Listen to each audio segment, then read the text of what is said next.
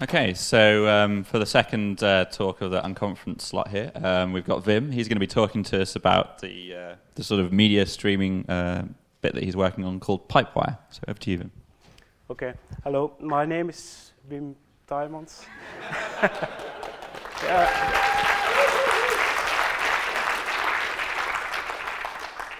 Uh, I work for Red Hat. I've been working on a little project for a while now. Um, it has a bit of history. I don't have any slides, but it makes you listen better. Um, it started with a little um, experiment uh, based on dbus to share uh, the cameras, the video for Linux cameras. And the idea behind that was to uh, share the camera uh, between applications. There is no way to do that in uh, Linux in a nice way. Um, and especially for uh, sandbox applications to allow them controlled access to the camera instead of just opening the device node and doing their stuff. Um, so browsers and uh, things that are connected to the internet. So that was uh, a first attempt uh, using GStreamer and all of that. Um, but I grew unhappy with that.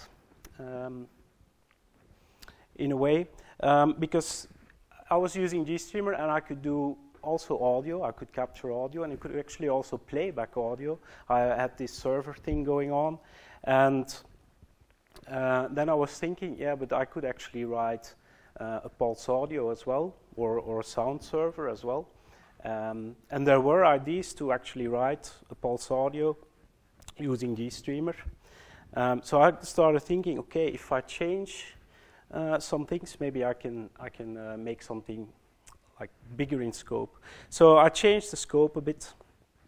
Um, uh, I I decided to write, uh, take a look at everything that there was uh, regarding multimedia, um, plugin APIs, uh, protocols for for doing audio communication, for doing multimedia scheduler. So and there were a couple of things that, that I liked. Um, and I started thinking and experimenting with these things. And currently, um, so I, I, wrote a plugin API. I looked at all the plugin um, APIs, LADSPA, and LV2, which are real-time processing uh, for audio plugins. Then there's other APIs like OpenMax um, for generic multimedia, GStreamer, of course. Uh, and I tried to form something that could do what all of these plugins did, the good, the good parts of all of these things. And I started like building up um, this, this whole new thing. Um, I used as a communication protocol instead of dbus. I experimented with something Wayland-like, uh, with events and methods uh, on uh, on objects. Um, I also included a lot of ideas from um, uh, Jack. So Jack is, is a, a, server, an audio server used in professional audio, which has kind of like GStreamer graph-based processing, but you can have clients that um, add themselves to the processing graph. So that's kind of like the, the, things I was experimenting with.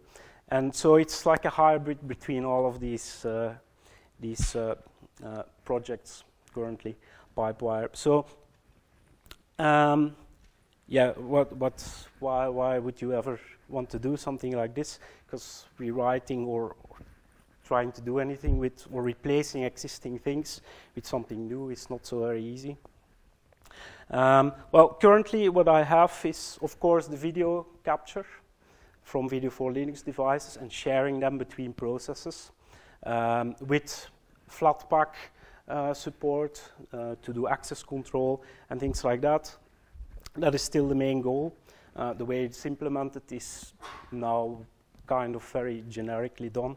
So you can actually start building other kinds of applications on top of that, and I think that's going to be kind of exciting. Um, so I have, uh, for example, um, I can do audio capture as well. I can do capture of encoded video. Um, I, can, I, have mixers as well, an audio mixer. I can have clients that mix audio. This is all kind of like prototype thing. Um, But um, it should, my goal eventually is that I can uh, run jack clients, professional audio clients, and consumer grade audio mixing uh, and playback uh, with one piece of software. And also do other kinds of multimedia like video that goes together with the audio and stuff like that. So that's a very uh, big plan. So um, yeah, so uh, what's so that's kind of what it's currently doing. Uh, the plan is to package this uh, for Fedora 27 as a first version. There is like proposals for uh, making that into an RPM.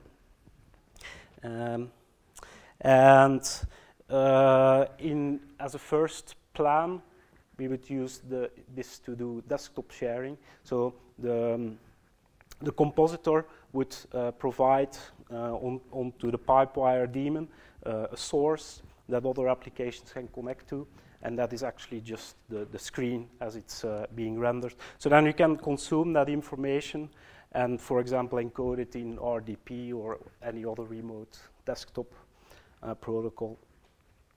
So there, there is a whole setup to do this um, for Flatpak applications uh, to get securely a screen capture and nothing else. Um, I have other stuff and other bits that might be interesting to do as well. Uh, like for example, cheese can run on um, on Pipewire as well. So then you could make a cheese, a Flatpak cheese that um, that you can run, connects to the portal to ask access for the device, and goes to Pipewire to actually get the device that you um, allowed it to access, and do things like that. So in um, the API currently is uh, work in process. Um, so I have, a, I have, a, remote protocol and stuff like that, but that's not, I can't commit to that forever. APIs are versioned, so I can extend and change, but uh, it needs a bit more stabilizing. Um, yeah, so there's um, a couple of other things that I cannot exactly do uh, like what Jack does, but hopefully I'm, I'm kind of working on that to make a couple of shims to make it possible to have Jack clients um, run with Pipewire. So my plan is to see how far I can get and if I can actually propose something that um, can finally unify the, the professional and the, the normal desktop audio there's a lot of work to be done, um, but yeah, we'll we'll see where it goes. Um, yeah, was that fast? That was very fast. We have lots of questions then, or none. You're too late. Yeah, I, I, can continue a bit more in details.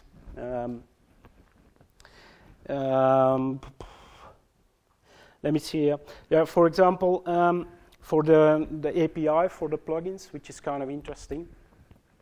Um, it's like a hybrid between between OpenMax, Microsoft Foundation um, plugins, um, and it's a bit different from what you do as a GStreamer plugin, where the GStreamer plugin does a lot of things uh, internally.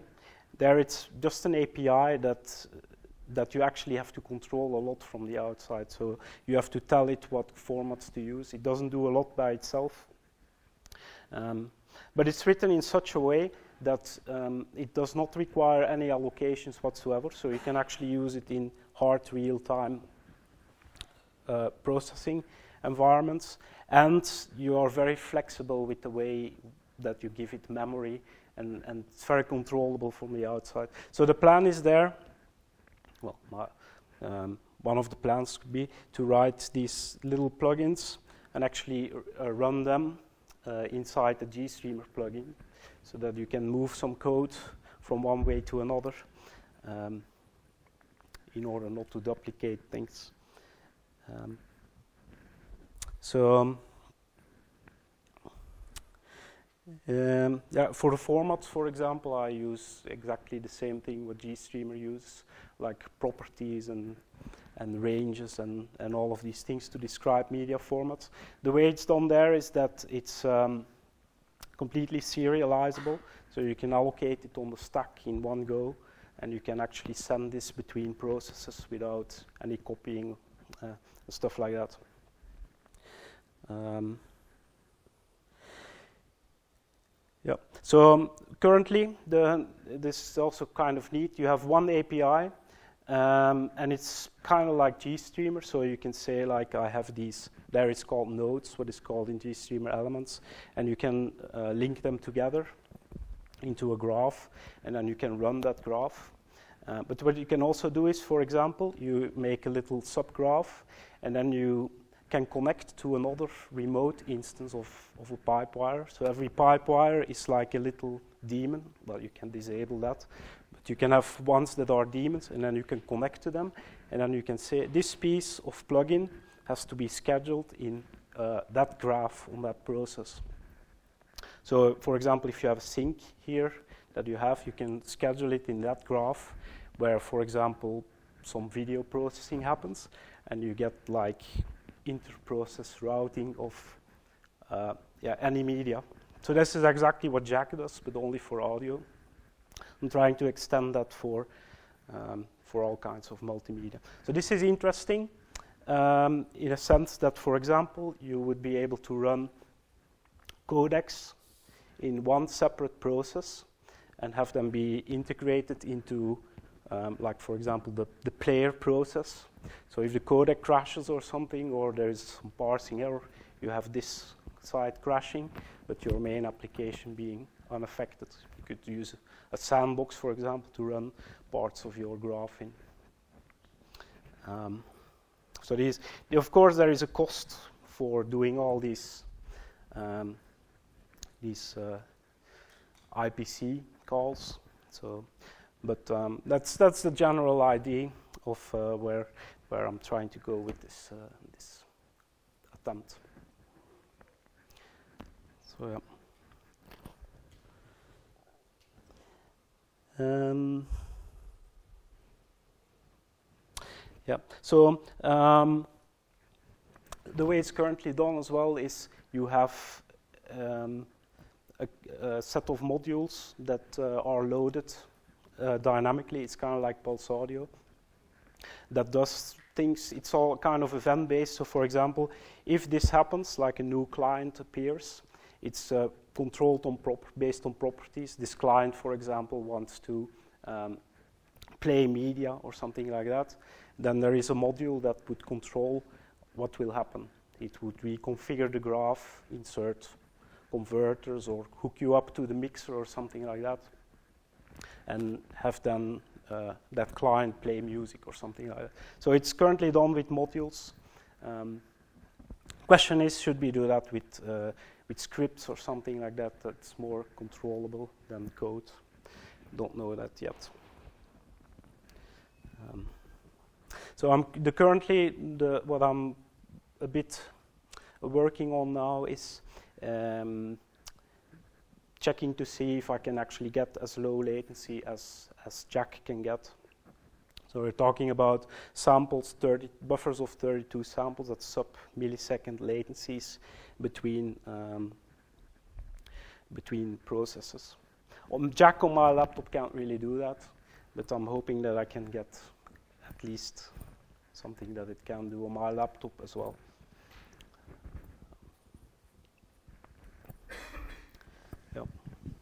Okay, does anybody have uh, any questions for Wim about Pipewire?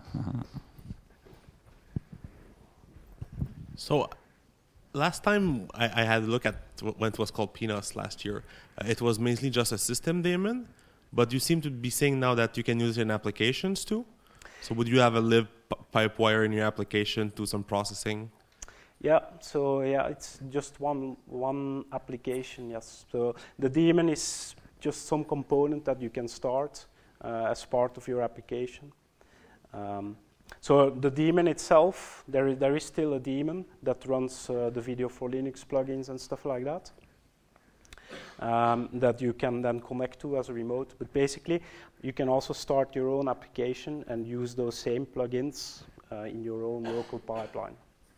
It's kind of like GStreamer. You can choose these things are run locally and these are do remotely. You need these kind of things um, typically because if, if you have a certain sound or video format that you capture from the server, maybe you want to convert it, things like that. So you can bring it into GStreamer and do the conversion there. But since I need these things anyway, you can also do it in Pipewire. Right.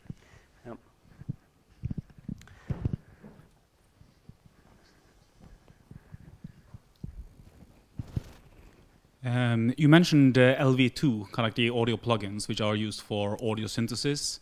And does Pipewire extend to what would be almost similar to MIDI, as in synths, where you say like play this instrument at that MIDI note that frequency and have polyphonic voices in such a way?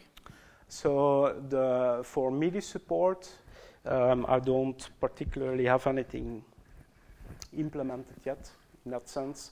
Uh, but MIDI is just another buffer with different content. Well, I'm not really thinking about MIDI. I'm thinking more about the um, uh, the parameterization of, of yeah uh, parameterization, well, having like uh, curves on, on synthesizers that um, do like physical modeling of a grand piano using Karplus-Strong audio synthesis and similar things with reverb and uh, uh, in that you could ask from an application of the system like play these notes on a piano it wouldn't have to be MIDI. There's many kind of other things, but do you take that kind of like multiple voices and positioning them in space? Is that part of what you'd be able to ask through IPC to, happen? Uh, if you write plugins to do that, um, probably yes. So uh, what, what LV2 does, uh, Pipewire can do that too. So LV2 has inputs, for example, for uh, curves of, of how parameters change. So if this is the input to your algorithms, you can provide that as well. Um, uh, like for example, LV2 has, um, has what is called these um, atoms, which is basically um, like a, a, data structure, serialized data structures where you can say which nodes play when, and it's like a whole organized thing. I actually have exactly the same thing that is compatible with that even. Okay, and I like that. Then I presume also polyphony, so you have like multiple instances of the same voices at the same time. That that would be actually the problem of the plugin or your node, the node. So I have totally no experience uh, with that, but. Uh,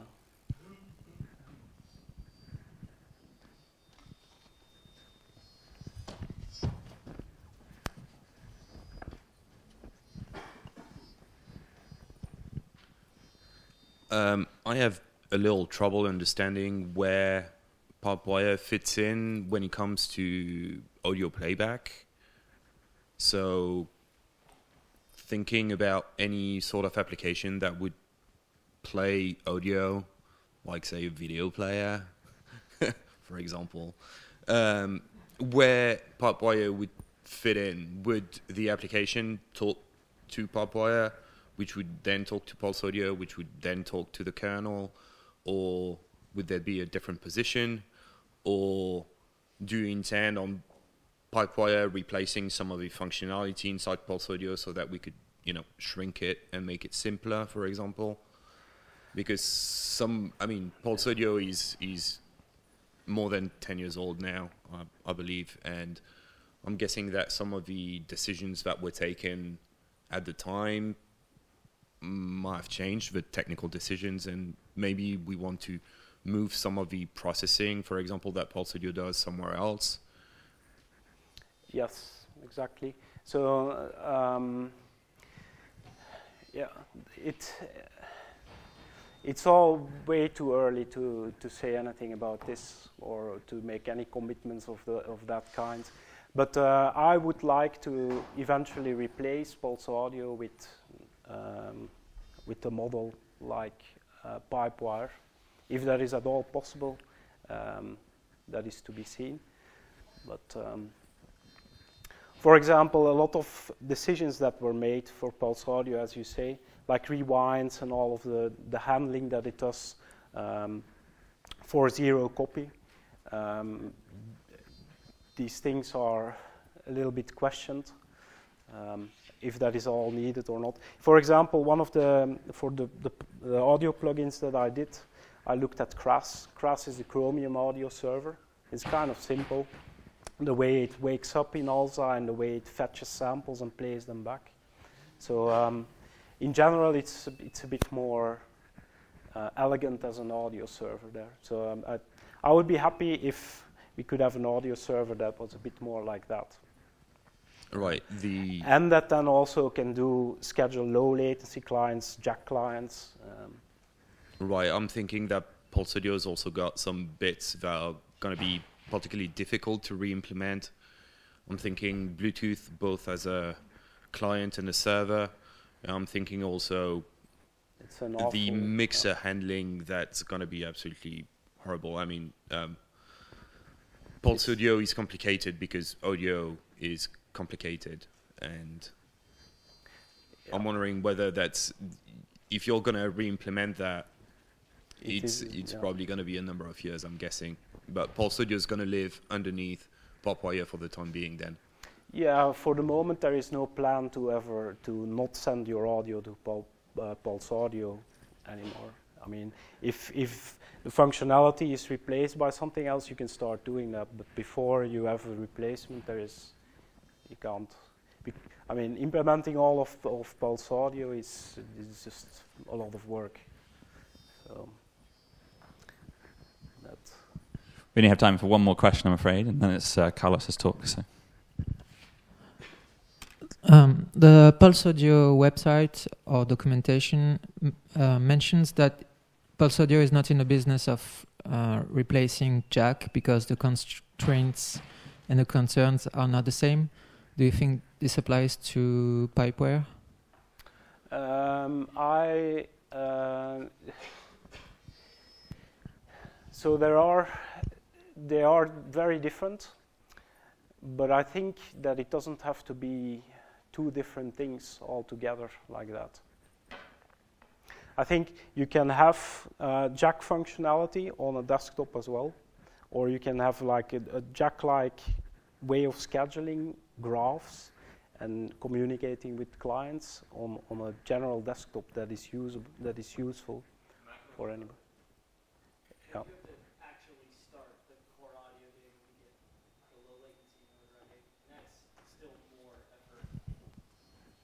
With the uh, the the comment was that Mac OS does both of them with the same routing daemon, right?